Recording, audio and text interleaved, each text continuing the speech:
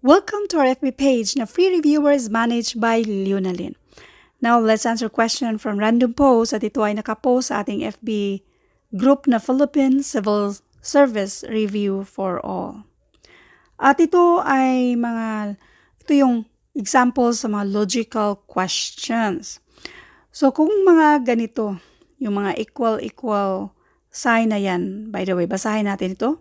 Pa-help po everyone tapos nakatag ako, madam, baka naman magawan mo ng mga tutorial, yung mga ganitong questions. Salamat.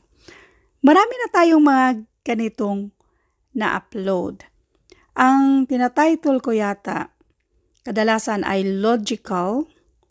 Otherwise, pwede nyo mang isulat mismo yung number na yan, tapos idugtong lang yung Lunalin para mas madaling ma-sort out yung dati na nating na-upload na mga kahalintulad nito.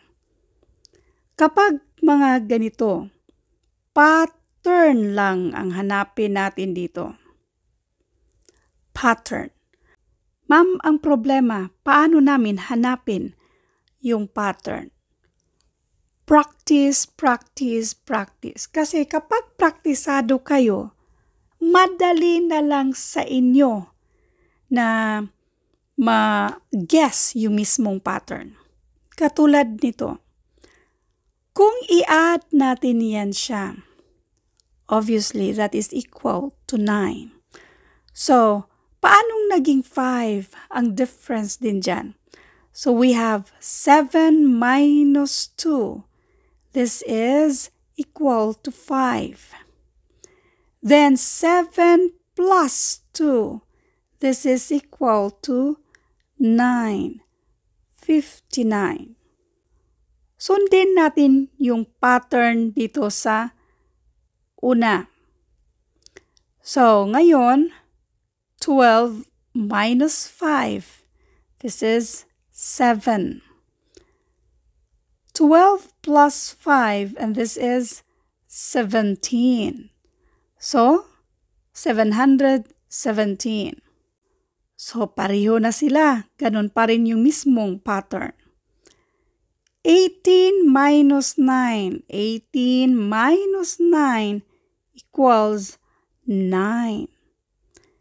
18 plus 9 and this is 27. 927. So, since meron na tayong pattern as in parihong-pariho yung tatlo na yan, Ganon din ang gagawin natin dito sa 26 at 3. 26 minus 3. This is 23.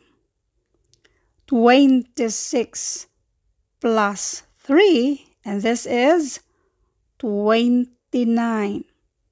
Therefore, i-combine lang natin yan. Ang sagot dito ay 2,300 29.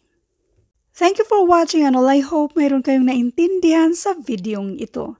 Thank you and God bless.